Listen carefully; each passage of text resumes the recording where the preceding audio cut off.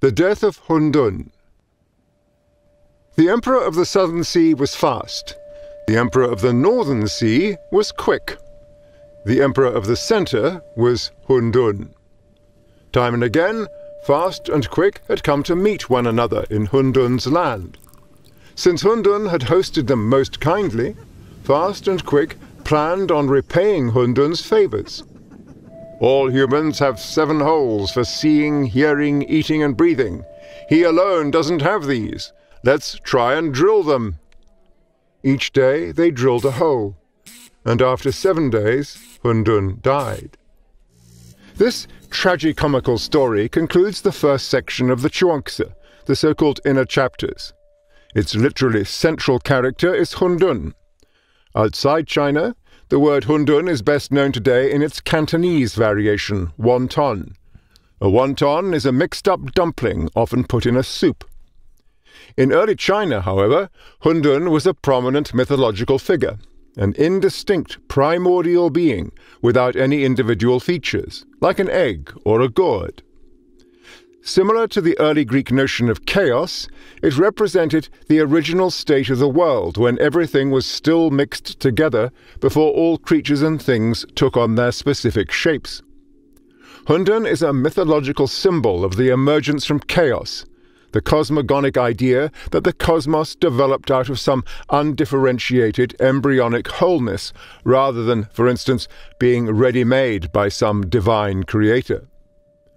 Another early Chinese text, the Huainanzi, sums up this idea and describes Hundun as an undifferentiated simplicity or pu when things were not yet made and completed, and as the great oneness out of which eventually each thing was differentiated. Then there were birds, fish, and beasts. The story of Hundun's death in the Zhuangzi can be understood in three different but related ways. It can be read as an allegory of a Taoist pursuit of vitality and longevity, as a socio-political critique of imposing conformity, or as a parody of the identification with false myths and ideologies. An allegory of a pursuit of vitality and longevity. As a mythological figure, Hundun symbolizes an original oneness, a state when creative potentials are at their maximum, all life powers are still unspent. This idea is expressed in many variations in early Taoist texts. The Tao Te Ching also speaks of such concentrated vital power in terms of simplicity, just like the Huainanzi describes Hundun. In the story from the Zhuangzi, Hundun is killed by the openings that are drilled into him. These openings transform him from an indistinct into a distinct human-like being.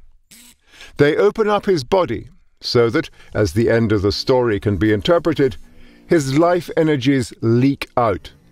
Such a reading of the story corresponds to a passage in the Tao Te Ching which says, Fill the openings, close the entries, be unencumbered by the termination of the body. Open the openings, be busy with affairs, and you will not be saved from the termination of the body. In light of these lines, the story of Hundun suggests that human activity, and especially the activity of the senses embodied in our facial openings, drains human vitality and eventually kills us. Read in this way, the allegory of Hundun's death recommends a life practice that preserves one's original vitality as much as possible, or restores it. Such practices are advocated in the Tao Te Ching, which advises to embrace simplicity and calls for a return to this state. Practical Taoism, or Taoist religion, has been engaged in precisely this quest the achievement of maximum bodily and spiritual health akin to the shapeless, whole, and pre-human Hundun. A socio-political critique of imposing conformity. The story of Hundun's death in the Zhuangzi not only makes use of Taoist imagery and mythological ideas, it also includes clear references to Confucian themes and values. They come to the fore when turning attention to Hundun's fellow emperors from the southern and northern seas. These emperors react to Hundun's kindness in line with moral categories highlighted in Confucian texts. Such texts elaborate in detail how people ought to interact with one another given their respective social roles and status. Reciprocity is considered crucial in these relationships and an important element of Confucian social propriety. That the emperors of the southern and northern seas worry about how to repay Hundun's favors signals that they think and act in line with mainstream conventions of the time.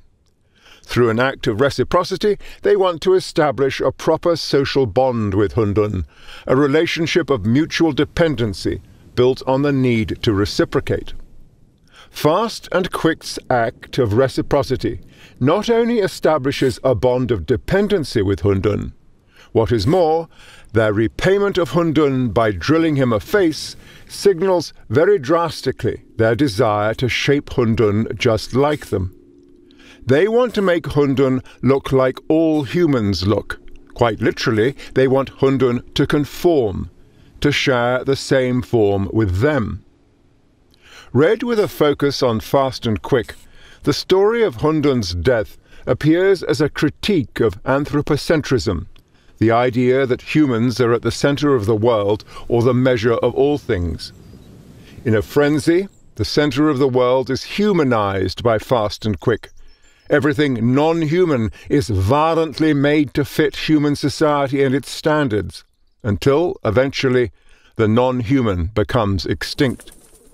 More specifically, the story can be understood as a critique of an ethos which intends to civilize all those who look different and are not part of the conventional socio political order. In this way, the story is a timeless warning of the political desire to shape what or whoever is different from us according to our own image, a desire that has informed many conflicts and wars. More generally, the story can be read as a critique of an interventionist politics that meddles heavily with people and nature, and thereby runs counter to the Taoist maxim of Wu Wei, the non-interfering action, that almost all Taoist texts favor. This reading is suggested by editor Guo Xiang, who in the 4th century CE remarked that Fast and Quick destroyed Hundun with their activist interference. A parody of the identification with false myths and ideologies. Although the story of Hundun's death in the Zhuangzi has a prominent mythological figure at its center, it is actually not a myth, the other two characters of the story, Fast and Quick, Shu and Hu in Chinese, bear obviously comical names not befitting any emperor and the solemn tone in which myths are typically told. They do not belong to the standard mythological cast. By using such funny names, the story is, right from the start, incongruent. It is neither a myth nor cosmogonic. It does not describe the origin of the world. At the outset, this is what it seems to promise, but it ends, like a joke, with the abrupt disappointment of readers' expectations. Rather than explaining the origins of the world, it ends with the unintended and surprising collapse of everything. Just as the names of the two emperors are irreverent, their thoughts and deeds are inconsistent. Their noble intentions turn out to be utterly misguided, and their course of action proves to be completely inept. Rather than like wise men, they act like fools. Hundun, too, is not a model of wisdom or Taoist longevity. He is unable to resist fast and quick, and cluelessly submits to their attack on him. He lacks any strategy of evasion, and cannot conserve his pristine simplicity. While Shu and Hu are failed Confucian sage kings, Hundun is, in this story, a failed Taoist immortal.